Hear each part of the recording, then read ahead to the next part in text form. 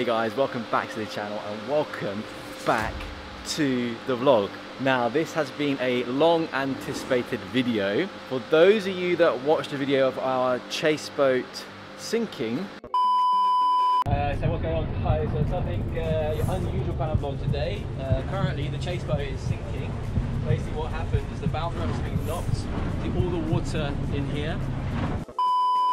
You've all been asking what happened, what happened, what happened. Well, the day has finally come where we're going to do the repair and install the new bow thruster. Now, if you have no idea what I'm talking about, I suggest you watch this video. We were in Croatia, our bow thruster sheared off and we were sinking.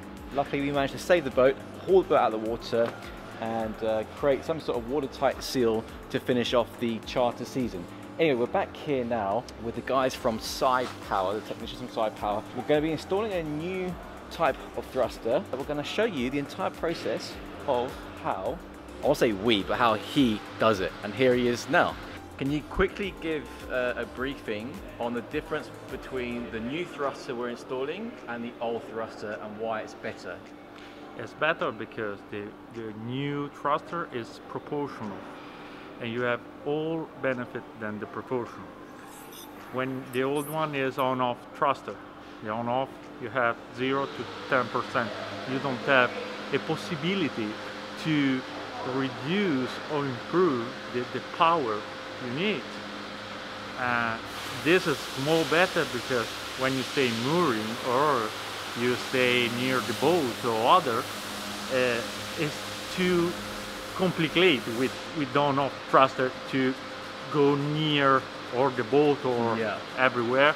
It's, it's too complicated because you need to use the, the engine, you need to use the thruster, and that's difficult. And with this, it's too simple because it's a proportional. You, it's possible you use a little, little bit for, for going Just slowly, smoothly. slow. Yeah, And it's also better for the duration of the battery life, right? yeah, yeah. There's not a big impact to Yeah, the battery. the It, it- battery- it takes the power slowly. The battery, the cable, Yeah. everything. It's, Perfect. be, it's better, it's more better for, for that one. Cool. For the safety and for the other. Right, let's crack on the installation. Yes. Right guys, so what we've done, you can see we've taken the two screws out of the plate that um, Slav made and now we're just going to chip it out and then hopefully take it off maybe with a flathead screwdriver.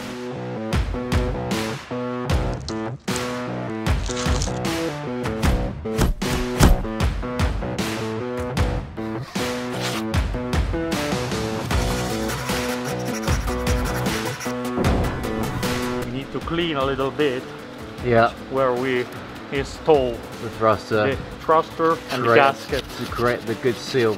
Yeah. So guys, the guys from Side Power were just saying that um, any thruster dating back to like the early 2000s can be changed to a proportional thruster. They were saying all you need to do is change the temperature sensor and that you can get it done at your local Side Power dealer. Then you need to just install the PPC, which is the power proportional control. Replace just the control panel itself and a few of the wiring looms as well. As simple as that. And that's basically the basic upgrades that you can do if you've got a side power thruster, you want to change it to proportional. It's really straightforward.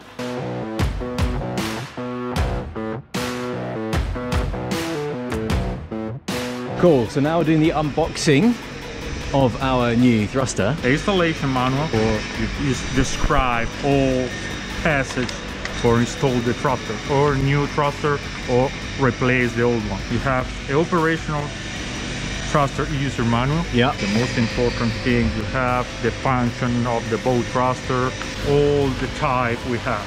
And then the checklist to perform when you want Okay. to check. Remember guys, RTFM. You know what that means, huh? okay, so here we have the The propeller, prop. the cool prop, and then here you Here we have, have it. a motor, the electrical motor, and this is a gear leg with a bracket. Yep. You have this, the the gasket here. Yep. Now we we go to this mount, disassembling that one, and install. You see? Okay, yeah. I need to So you need to take this off.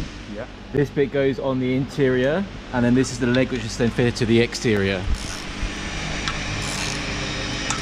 You need to remember all the this type of coat is pre-filled of oil as and is uh, sealed. Okay. Inside they have a oil but they don't have a compensation oil.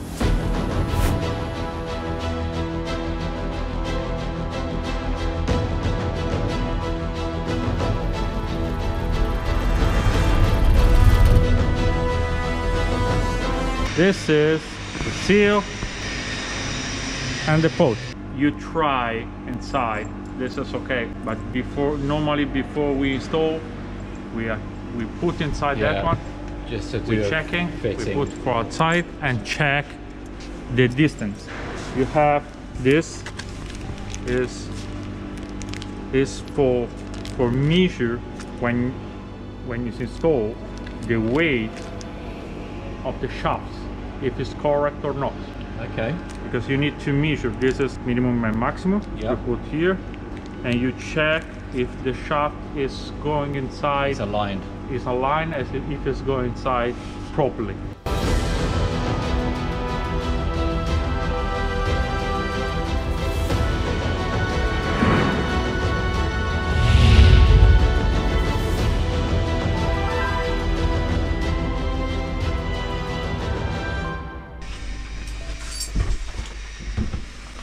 Okay. Most important before you install is all is clean Yeah. and is flat where we go to install the bracket because if you have some it's not aligned it's possible to leak Okay. and it's possible you you do not put in line the the gear leg Okay. You know? Yep.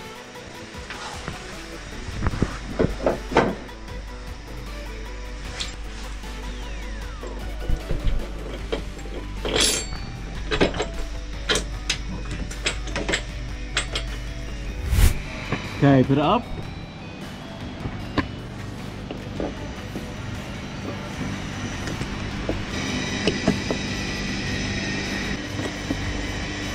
Love all this kind of stuff. Love it. Love it. And just like that, guys, we are on. And then once the structure's installed, we'll be ordering. Well, we already ordered it. It hasn't arrived yet. The new uh, bit that fits onto uh, onto here. Yeah. Yeah. first we install the propeller Yeah. for checking if the position is correct or not. Okay. Okay. That's quite important, sir.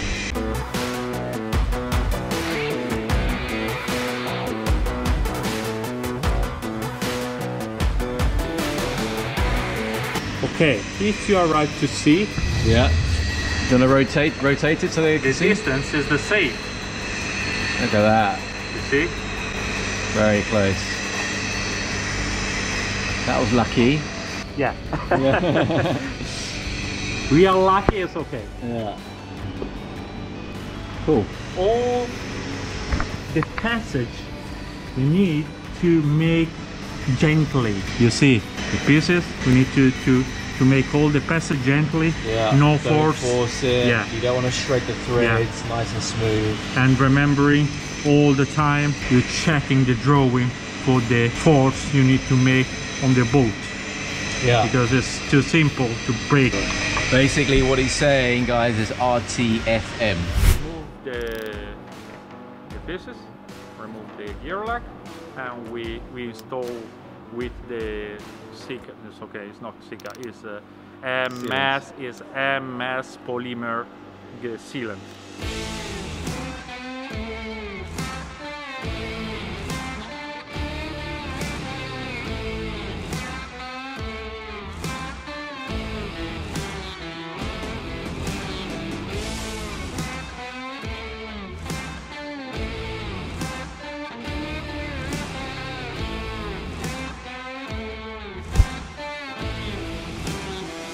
Pay attention to not put here the The Polymer, the yeah. sealant, sorry. yeah the surface has to be very clean.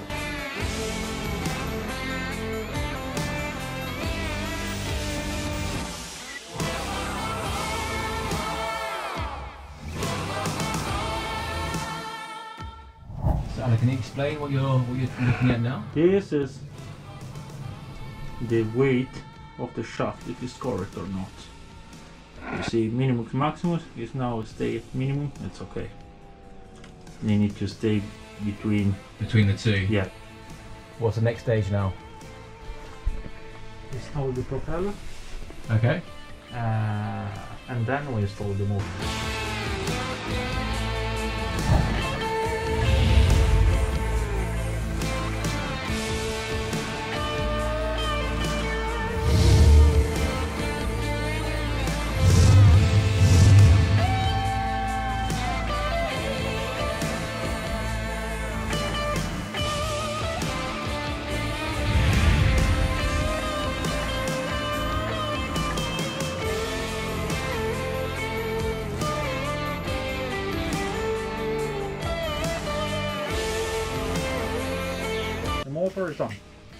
Done. Yeah. Now just plug it in and go. Now we need to to put the cable Mm-hmm. before the PPC. We install the PPC. Normally the PPC needs stay. We need to stay around the maximum five me- meter. Okay. To the back. It's okay. a so- maximum so it's- length of okay. cable. Because you have one cable here, this one, yeah. to connect to the PPC, and then positive and negative. Okay, the battery.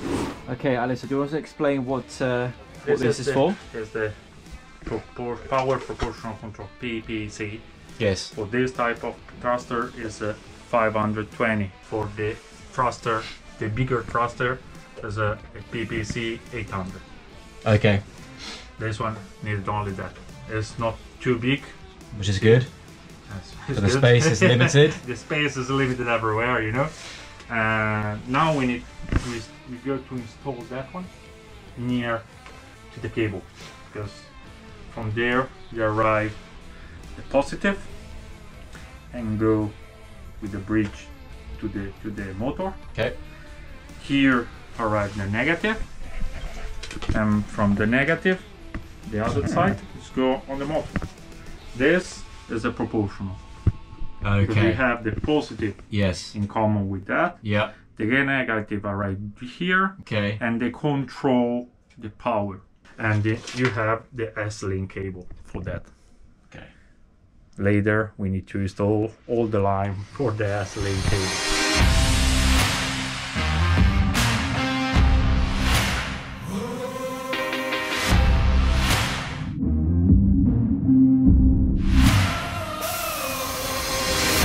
PPC is installed. Power. Well, we say installed, but it's it's screwed on. What's Yeah. the next stage now? The stage now. We made a cable between the negative Yeah. for the proportional and the motor, and the positive to the motor. What do you need? The pump for, for clamping. There you go. Okay, thank you. Check out that bad boy, guys.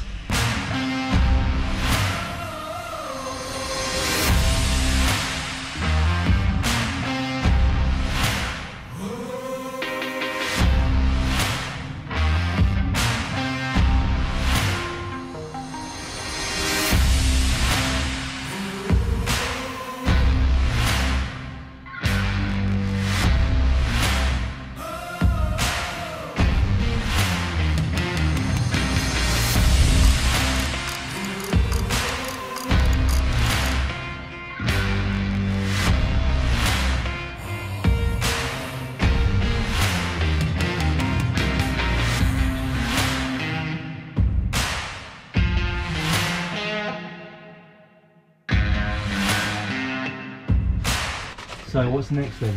This is communication cable between the PPC and the, the motor. Okay.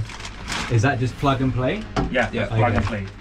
This one is connectory side, on Okay. both sides, and this only remembering is a five meter length. Okay. Only five meter. Oh, so this cable you can't make it shorter or longer. No, It is that it's fixed and that's that. Just for the temperature sensor. Aha, okay. It's the difference between the SEP and the SE normal thruster.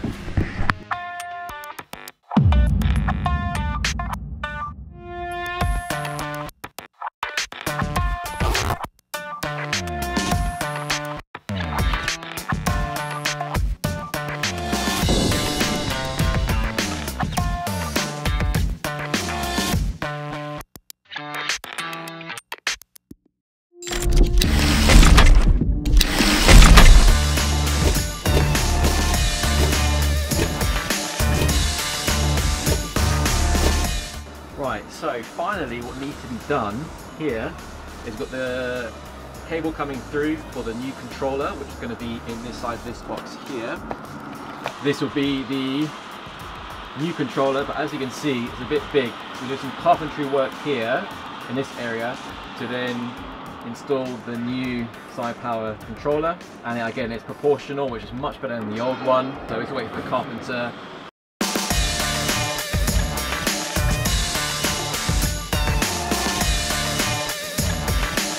All the wiring connections are all completed. We just need to do the carpentry work here on the controller and then obviously do the tests once the boat is in the water. Now, on a future video, what we are doing is we're going to be improving the, the batteries. In fact, changing the battery layout here on board. Our plan is to increase the number of batteries. So at the moment, we've got the service battery, port engine battery, and starboard engine battery. So we're going to add an additional battery for the service battery. The reason we're doing that is the service battery provides power for the boat, the services, and also the bow thruster. So what we want to do is install a fourth battery so it has more power and it's better off for the battery because the bow thruster do, does use a lot of power. However, having the new proportional control bow thruster is going to be a lot friendlier to the battery, therefore prolonging the life of the battery. In addition to that, we're going to be also upgrading the onboard battery charger. So what that does, when we plug into the shore power, the batteries are being charged by the battery charger. When it's not plugged in, it's using the alternators from the starboard and port outboard engines to charge the service batteries and also both the engine batteries. I've really enjoyed making this video. I know a lot of you do enjoy the technical videos that we do do on this YouTube channel.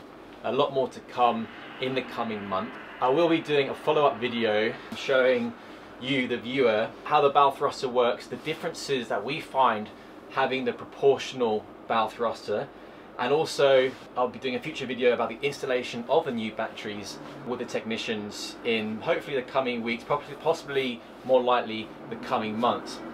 In addition to that, what I will also do is give you guys an update once the carpentry is being done. So once the new holes being drilled out, sorry, cut out, and the controller installed, we'll be doing a little test as well. Again, a big thank you to the guys from Sleipner Side Power. Been great working with you and great working with the technicians.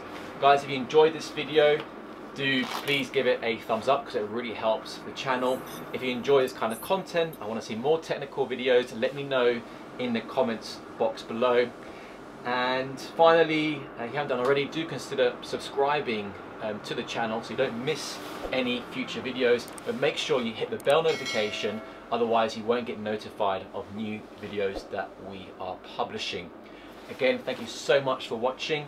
I hope to see you all in the next video. See you and ciao.